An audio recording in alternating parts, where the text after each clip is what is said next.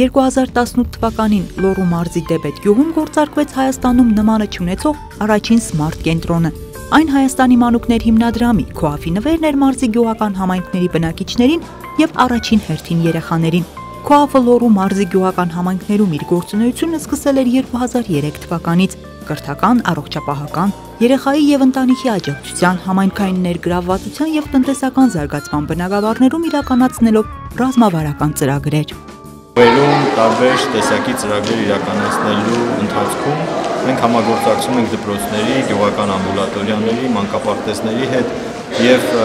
կան իհարկե մեծ համագործակցություն կա ձևավորված այդ բոլոր համայնքների եւ բոլոր դպրոցների եւ մնացած կառույցների հետ, հիմնականում Արմավիրի մարզից, Շիրակ, Տավուշ, Լոռի, Արագածոտ մարզերում, սակայն ինչ որ մի պահի արդեն մինչև 15 թվական աշխատելով նման մոտեցմամբ մենք հասկացանք, որ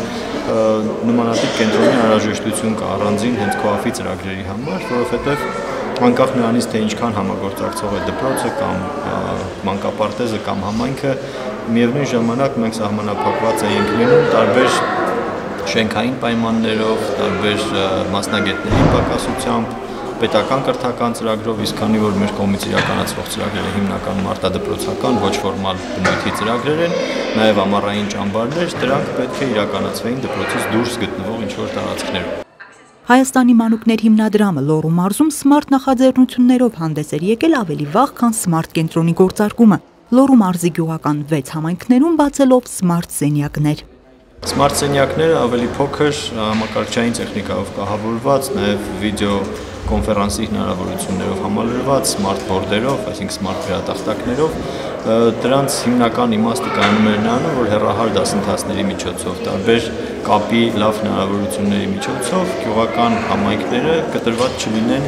համաշխարհային զարգացումներից, տարբեր ընթացող գործընթացներից եւ այն դասընթացները, որոնք հնարավոր է ստանալ մայրաքաղաքում կամ մեծ քաղաքներում, հասանելի լինեն նաեւ գյուղական միջավայրերում։ Smart կենտրոնի կողմից առաջարկվող ծրագրերը բոլորի համար են, սակայն հիմնական թիրախը 3-ից 35 տարիքային խումբն է։ Հատկապես դպրոցականները կենտրոնում հնարավորություն ունեն ոչ ֆորմալ արտադպրոցական կրթության միջոցով զարգացնելու իրենց նախասիրություններն ու հմտությունները, շնորհիվ բազմաբովանդակ ծրագրային ուղղությունների։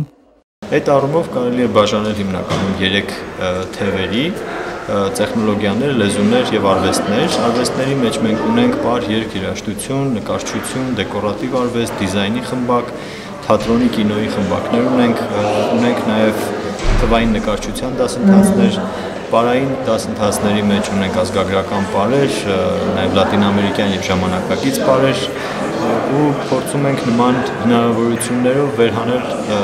հակումները, ունակությունները, եթե կան որոշակի, ասենց ասած, հետաքրքրվածություն երեխաների մեջ, նրանք ունենան զարգացնելու հնարավորություններ։ Տեխնոլոգիաների թևի մեջ մենք ունենք ծրագրավորման, համակարգչային գրագիտության, ռոբոտաշինության խմբակներ, իսկ լեզուների առումով բավականին լուրջ շեշտադրում կա անգլերենի դասընթացների վրա, որովհետև մենք համարում ենք, որ անգլերենը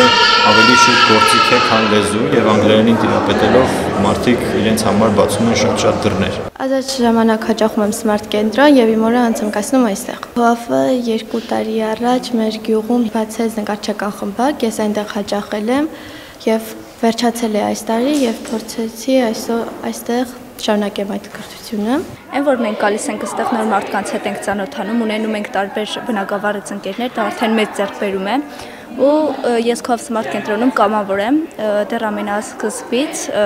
սկզբում քաֆում, հետո երբ բացվեց սմարթ կենտրոնը, այդ ժամանակ արդեն սմարթ կենտրոնում։ Սկզբում սմարթ կենտրոնում հաճախում էի խոսքի արվեստի խմբակի, քանի որ շրջափուլը ավարտվեց, ներկայումս հաճախում եմ թուրքենի խմբակին։ Ունենք հնարավորություն զարգանալու, դա արդեն մեծ ձեռքբերում է ու ստեղ գալով մենք արդեն իսկ զարգանում ենք։ Smart կենտրոնում դասավանդվում է նաև թուրքերեն։ Այս լեզուն ուսուցանող խմբակը ըստ Քրիստ Մարուկյանի ձևավորվեց, երբ դիմորդների թիվը հասավ շուրջ 100-ի։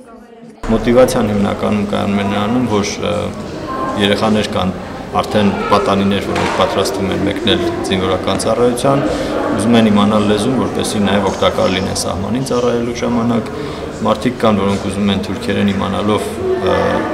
մեր խնդիրը առաջ տանեն եղերնի հետ կապված հարցերը ոչ թե սրով լուծելու ճանապարհով, այլ նաև լեզվով լուծելու ճանապարհով գնան։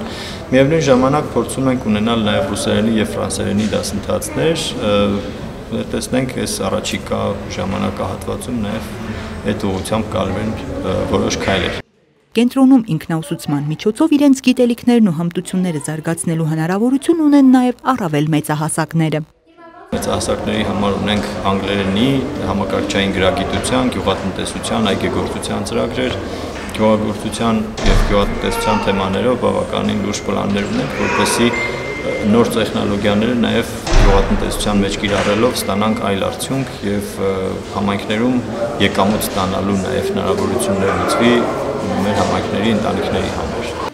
Թեև Smart կենտրոնն իր աշխատանքները սկսել է գյուղական 6 համայնքների հետ, սակայն ժամանակի ընթացքում աշխարհագրությունն ընդլայնվում է եւ եղած հնարավորությունները հասանելի են դառնում մարզի առավել մեծ թվով համայնքների երեխաների, երիտասարդների եւ մեծահասակների համար։ Կենտրոնը ամառվանից սկսած աշխատել է 6 գյուղերի հետ, դրանք դեպետ, Դսեղ, Չկալով, Եղեգնուտ, Վահագնի եւ Ձորագյուղ համայնքներն են, բայց նաեւ ընթացքում ավելացել են Ձորագետ, Վահագնաձոր եւ